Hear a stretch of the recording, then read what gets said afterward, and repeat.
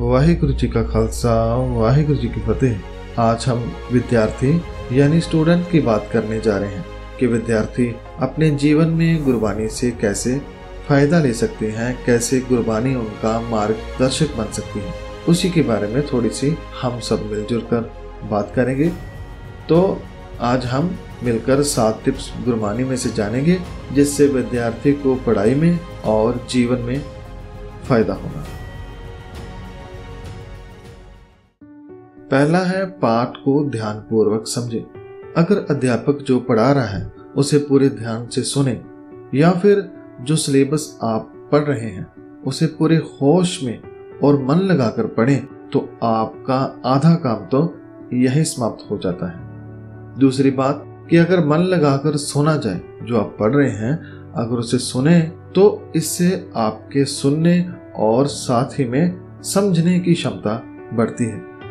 और अगर इसके विपरीत पढ़ने या समझने के दौरान टीचर के लेक्चर के दौरान ध्यान कहीं और हो, मन कहीं और ही भटक रहा हो तो इससे आपको दो नुकसान होते हैं। पहला, जो वक्त आपने गवाया है, यानी मन जब भटक रहा था, कहीं और सोच रहा था तो वक्त हमारा जो गुम हो गया है, उसे आप फिर दोबारा भर नहीं पाएँगे। दूसरा, जिस टॉपिक को आपने मिस कर दिया है वह एक बोझ बन जाएगा आपके सिर पर, और फिर उसी को दोबारा याद करने में और मेहनत करनी पड़ेगी। इससे अच्छा है जब आपको कोई पढ़ा रहा है, कोई टीचर आपको लेक्चर दे रहा है, जहाँ आप खुद पढ़ रहे हैं तो पूरे ध्यान से पढ़े, पूरा मन लगाकर उसे सुने, समझे, और गुरबानी की ये पंक्ति भी याद रखे, जिसमें गुरु साहब जपजी साहब में समझाते हैं कि अगर ध्यान लगाकर सोना जाए तो मन सब कुछ प्राप्त कर सकता है। गुरु साहब फरमाते हैं कि, सुने, पढ़ पढ़ पावह मान। सुने लाके सहज ध्यान। सुनने से, ध्यान लगाकर सुनने से आप जो चाहें प्राप्त कर सकते हैं। गुरु साहब फरमाते हैं कि अगर मन लगाकर सुना जाए तो मान प्राप्त होता है, इज़्ज़त प्राप्त होती है, सहज प्राप्त होता है। अगर हम में सहज आ जाए तो हर काम आसान हो जाता है। और हर काम में, हर विषय में, हर जगह में मन लग जाता है। सो हमने जाना कि मन लगाकर पढ़ने से या सुनने से पढ़ा हुआ या सुना हुआ बहुत ही आसानी से समझ आ जाता है। इसलिए अगर आप पढ़ रहे हैं या फिर सुन रहे हैं तो उसमें अपना ध्यान ज़रूर लगाएँ। आपको ज़रूर इसमें फ़ायदा होगा। दूसरा जो याद करना है, उसे समझे भी। विद्यार्थियों में ये बड़ी मुश्किल होती है कि वह याद बहुत करते हैं, मगर फिर भूल जाते हैं। जिसका मेन कारण ये होता है कि जो पढ़ा है, उसे समझा नहीं है। जैसे कि गुरु पाशाह एक बहुत प्यारी सीख हमें देते हुए फरमाते हैं कि, पढ़े हैं ना ही भेद बुझे है, पावना। अर्थात केवल पढ़ने से नहीं, बल्कि जो पढ़ा है, उसे समझने से पूरा भेद समझ में आता है। जैसे आप कोई चैप्टर पढ़ रहे हैं जहाँ कोई पर्टिकुलर सब्जेक्ट समझ रहे हैं, चाहे वह इंग्लिश का है, या मैथ का है साइंस का है, या सोशल स्टडी कोई भी है, आप जब बिना समझे पढ़ते जाते हैं तो आपकी समझ में कुछ नहीं आएगा, क्योंकि आप केवल इंफॉर्मेशन इकट्ठी कर रहे हैं, समझ नहीं रहे, उसे जान नहीं रहे हैं। सो इसलिए सबसे ज़रूरी है कि जब भी आप किसी चैप्टर को पढ़ें तो उसे अच्छी तरह समझे भी। उसकी तह तक जाए। आजकल तो ये सब करना बहुत ही आसान है। पहले तो ट्यूशन रखनी पड़ती थी अगर आप अपने चैप्टर का नाम केवल नेट पर डालें या फिर यूट्यूब पर तो आपको तुरंत लाखों ऑप्शन मिल जाएँगे। आपका जो चैप्टर है, आपको बहुत ही आसानी से वह समझा देंगे, जिससे आप अपने चैप्टर को बड़ी ही आसानी से समझ सकते हैं। अगर आप अपने विषय को बहुत अच्छी तरह से समझ गए तो वह पढ़ा हुआ या समझा हुआ फिर कभी नहीं बोलेगा तो यह याद करने का बहुत ही अच्छा तरीका है। तीसरा है, खुद को परखो। ये जानने का कि मुझे अब तक कितना समझ आ चुका है, उसका सबसे अच्छा तरीका है कि खुद का टेस्ट करें, खुद को खुद ही परखें।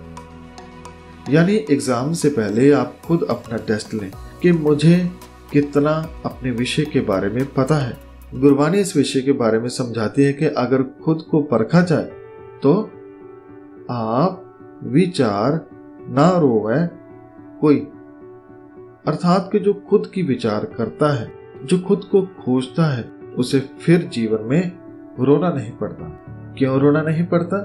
क्योंकि उसे पता होता है कि मैं कितना जानता हूँ। उसने खुद को परख लिया है। उसने खुद को जान लिया है कि मैं कितना कर सकता हूँ। इस सब का उसको इल्म हो जाता है और उसे यह भी पता चल जाता है कि मुझमें क्या खामी रह गई है। सो अगर आप खुद को परखते हैं, खुद का टेस्ट करते हैं तो इससे आपको दो फ़ायदे होते हैं। पहला, कि हमें पता चल जाता है कि मैं अपने विषय को कितना समझ चुका हूँ। ये आपको मोटिवेशन देता है। दूसरा, कि जिस विषय में हम कमज़ोर होते हैं, उसे समझने का हमें मौका मिल जाता है। तो आप खुद का टेस्ट लें। आप चाहें तो खुद कॉपी पर सवाल लिखकर जवाब दे सकते हैं। लेकिन इससे भी अच्छा तरीका ये होता है कि अपने माँ बाप भाई बहन या दोस्त की मदद ली जाए। वे आपसे सवाल पूछें और आप उसके जवाब दें। उससे आपको पता चलेगा कि आप कितना जान चुके हैं और कितना और याद करना, समझना बाकी है। चौथा है, दोस्ती अच्छे साथियों के साथ रखें। ये बात बहुत ही ज़रूरी है कि आपके दोस्त कौन है। क्योंकि अगर आपके दोस्त वह हैं जो पढ़ने से आपको रोकते हैं, क्लास लगाने से रोकते हैं तो उनसे दोस्ती सही नहीं क्योंकि जो काम हम करने आए हैं, उसी काम से वह आपको दूर कर रहे होते हैं, यानी आपको आपके मिशन से भटका रहे होते हैं। तो दोस्ती उनसे रखें जो आपको याद दिलाए कि हमारा यहाँ आने का क्या मकसद है। गुरु साहब का ये फरमान भी याद रखें कि जैसी संगत होगी, वैसा ही परिणाम भुगतना पड़ेगा। जो जैसी संगत मिले, सो तैसो फल खाए, सो अपनी संगत को, यानी अपने ग्रुप को सुधारें, अच्छे दोस्तों से दोस्ती करें। अगर आपके ग्रुप में कोई गलत है तो उसे सही राह पर लाएँ। यह भी दोस्ती का एक फ़र्ज़ है। उसके बाद है अपना सारा होमवर्क वक्त पर पूरा करें। यह टिप बहुत ही अहम है। अगर हम होमवर्क वक्त पर करें तो हम बहुत सारी परेशानियों से बच जाते हैं। जैसे कि अगर आज का काम आज नहीं किया तो कल चिंता में गुजरेगा। तो वह चिंता आपका पूरा दिन खराब कर देगी। इसके विपरीत, अगर आप जो काम मिला है, उसे पूरे वक्त पर करते हैं तो हम आने वाले पल को भी एंजॉय कर सकते हैं। क्योंकि आपके मन पर कोई बोझ नहीं, कोई सवाल नहीं है। और गुरबानी का ये फरमान भी आप हमेशा याद रखें कि आज का काम आज ही करें। आज का काम कल पर मत छोड़े। कबीर, काल करंता, अभय कर। अब करता सोताल पाछे कछु न होएगा। जो सिर पर आवे, काल। अर्थात जो काम कल करना है, उसे आज पूरा करें। और जो आज करना है, उसे अभी पूरा करें। क्योंकि जब वक्त हाथ से निकल जाएगा तो फिर हाथ में केवल पश्चाताप ही रह जाएगा। वह काल बनकर आपका पूरा कैरियर खा जाएगा, इसलिए जो काम मिला है, उसे वक्त पर पूरा करें।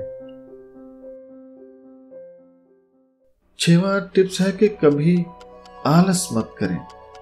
अक्सर ही बिना किसी काम की अगर आप छुट्टी करने की आदत खुद में पाल लेते हैं तो आप कभी कामयाब नहीं हो पाएँगे, क्योंकि आलस जीवन बर्बाद कर देता है।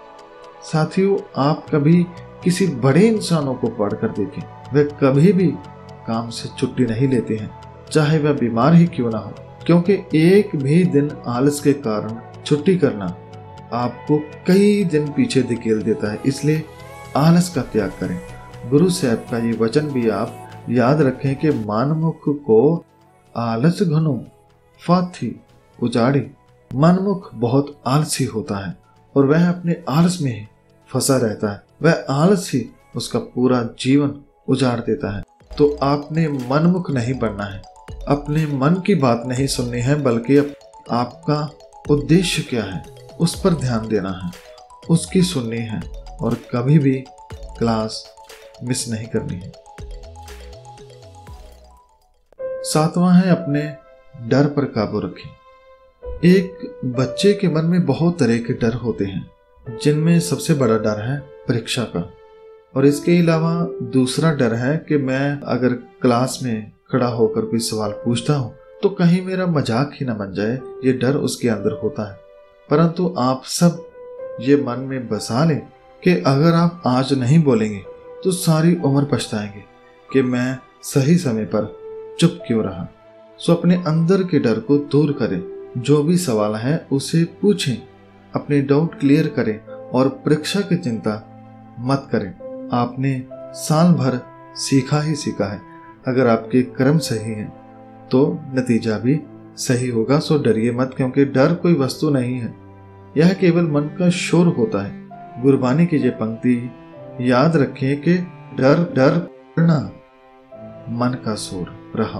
अर्थात जो डर है, वो केवल मन का शोर है। डरते रहना या डर के माहौल में जीना ये और कुछ नहीं मन का शोर है। अगर इसे आप दूर कर लेते हैं तो आगे जाकर ये आपके कैरियर के लिए बहुत फ़ायदेमंद होगा। सो so, ये थे सात टिप्स। इसके साथ मैं तीन टिप्स और आपको जल्दी से संक्षेप में बताने जा रहा हूँ। जैसे कि पहला है नींद पूरी लें। टाइम पर सोने की आदत डालें तकरीबन आठ से नौ घंटे ज़रूर सोएँ कितना भी ज़रूरी काम क्यों ना हो, आप उस काम को वक्त पर ख़त्म करें अगर वह ज़रूरी नहीं है तो उसे वहीं रोककर टाइम से सो जाएँ। उसके बाद अगर आपको कोई सवाल समझ नहीं आ रहा, और आप ये भी जानते हैं कि मुझे इसका जवाब पता है, मगर इस वक्त मेरे दिमाग में बिल्कुल नहीं आ रहा तो आप कुछ पल के लिए ब्रेक लें, थोड़ी सी वॉक करें और आप हैरान हो जाएँगे कि वापस आते आते आपको आपका जवाब मिल जाएगा, क्योंकि आपका जवाब आपके शांत रहने में होता है। उसके साथ ही जब आप सुबह उठें और रात को जब सोएँ तो पाठ ज़रूर करें गुरबानी ज़रूर पढ़ें। ये पाठ आपके जीवन को भी अच्छा बनाता है, आपके दिन को भी अच्छा बनाता है और आपकी रात को भी। रात को जब सोहला वाणी का पाठ करके सोते हैं तो हम परेशानी से मुक्त होकर सो पाते हैं। तो कोशिश करें कि गुरबानी को पढ़ें, समझें। जैसे जैसे हम गुरबानी को पढ़ते चले जाएँगे, हम खुद को और भी अच्छी तरीके से जान पाएँगे और जो कमियाँ हम में हैं, उसे दूर कर पाएँगे।